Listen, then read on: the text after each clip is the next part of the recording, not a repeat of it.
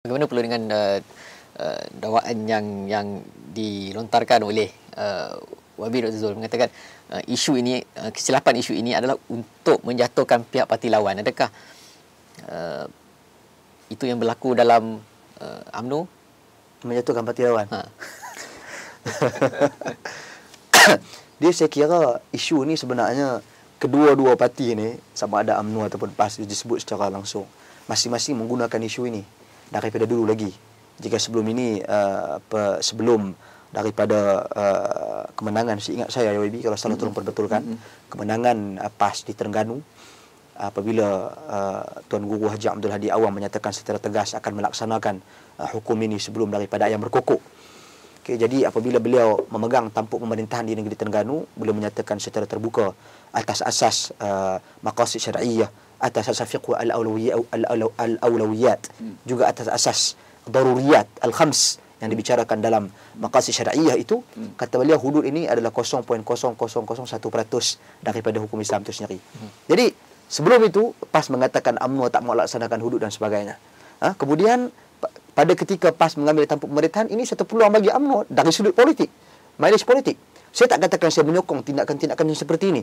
Jadi saya katakan pertemuan ini pertemuan yang mana masing-masing mencari peluang untuk melihat kelemahan dan kelemahan itu dijadikan sebagai satu senjata untuk menyatukan pihak lawan. Hmm. Jadi pada hari ini bila isu tersebut dibangkitkan kembali, hmm. uh, sebenarnya saya kira bermula daripada uh, pe, diskusi ataupun perdebatan antara saya dengan uh, Ketua Pemuda PAS apabila saya memberikan contoh yang bersifat umum saya katakan kita berhadapan dengan situasi apabila uh, kelemahan-kelemahan sama ada dalam AMNO ataupun dalam PAS uh-huh. dalam Barisan Nasional dan, dan juga Pakatan Rakyat kelemahan-kelemahan yang kita hadapi pada hari ini adalah berkaitan dengan kita katakan uh, mungkin tidak setujuan tentang hukum hudud contohnya saya bagi contoh ya sebenarnya uh-huh. uh, sama ada daripada MCA yang tidak bersetuju contoh kemudian daripada DAP yang tidak bersetuju kemudian uh, bermula daripada situ Ustaz Nasruddin melontarkan uh, uh, pandangan beliau kata saya tidak update maklumat.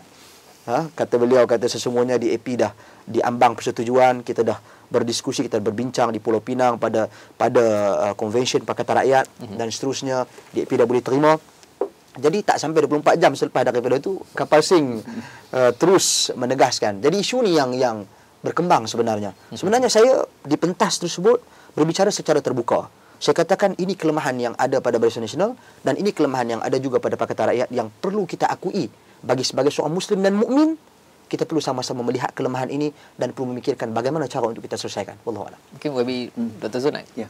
kata. Ya, saya uh, perlu kembali ya menghimbau um, laluan sejarah dalam perjuangan ini.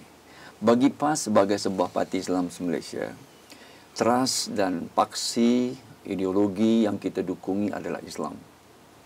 Dan Islam dengan erti kata mau mendukungi keseluruhan syariat itu. Dan kekemuncaknya matlamat syariat itu adalah tentunya al-adalah. Hmm. Ia jelas kerana itulah dia matlamatnya ya syariat Allah Subhanahu wa taala itu sendiri ya yang dalam banyak ayat Allah Subhanahu wa taala sebutkan laqad arsalna rusuluna bil bayinat wa anzalahumul kitab wal mizan liyaquma bainan nas bil qist itu diturunkan akan kitab untuk ya, mengurus segala perbalahan manusia pertikaiannya pada akhirnya untuk menegakkan keadilan. Uh-huh. Itu penting bagi PAS. Lalu dalam dalam proses itu ya uh, ia telah menjadi satu yang sifatnya doktrin gerakan Islam untuk sekian lamanya. Uh-huh. Era pasca penjajahan itu ya pembawakan istilah apa yang dikatakan sebagai negara Islam dan juga pelaksanaan hukum-hukum kanun jinayah the penal code Islam ini uh, sudah menjadi sinonim dan sebati dengan pengertian syariat itu sendiri. Dari sudut credentialnya, PAS pada awal from right in on the inception day memperjuangkan pelaksanaan hukum-hukum. Ini termaktub ya dalam dalam perlembagaan kami. Memperjuangkan dalam fasa perkara tiga ya uh, memperjuangkan wujudnya hukum-hukum yang pada akhirnya membawa pada keredaan Allah dan hmm. sejajar untuk menegakkan ya keadilan itu. Jadi kalaulah dakwaannya bahawa PAS menggunakan ini sebagai modal politik atau political capital itu satu yang tidak benar. Sejarah menyaksikan dan terbukti from historical records bahawa pada awal lagi kita telah uh, cuba dalam batas-batas kemampuan kita.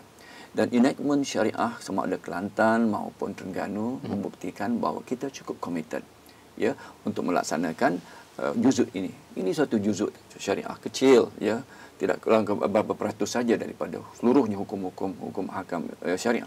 Tetapi uh, kanun jinayat ini ada ada peranannya. Lalu uh, buat hari ini kalau ada yang menuduh PAS mengatakan bahawa PAS hanya berpolitik atas perkara ini saya kira tidak benar. Enactment syariah Kelantan dan Terengganu itu buktinya. Yang lebih penting untuk saya sebutkan dari sudut rentetan sejarahnya.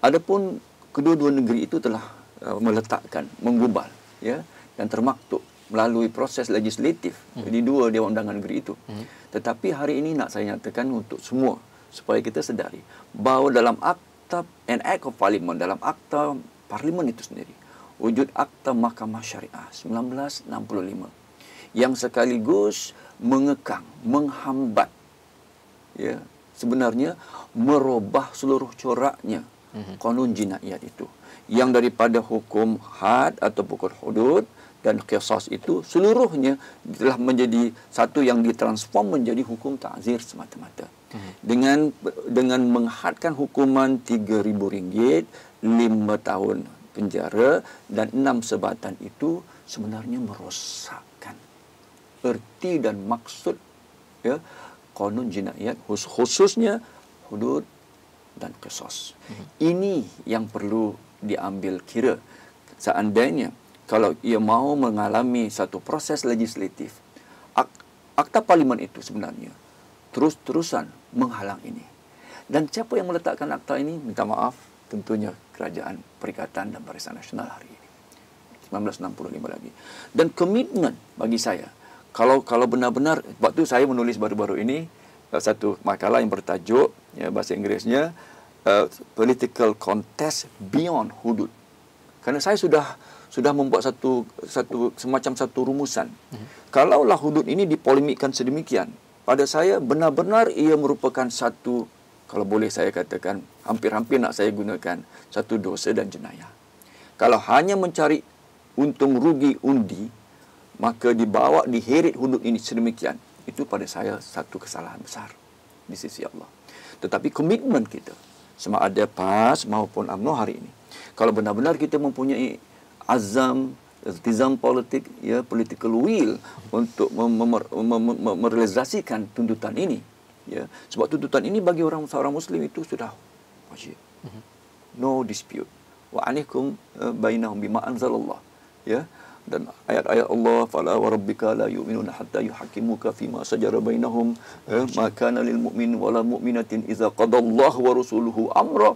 Semua ayat-ayat ini menjelaskan dan meletakkan semacam seolah-olah the defining criteria of iman dan akidah itu adalah termasuk juga ya beriktikad bahawa perkara ini wajar dan wajib dilaksanakan jadi dari sudut itu tidak boleh ia menjadi satu modal politik untuk dipolemikkan dalam musim-musim tertentu.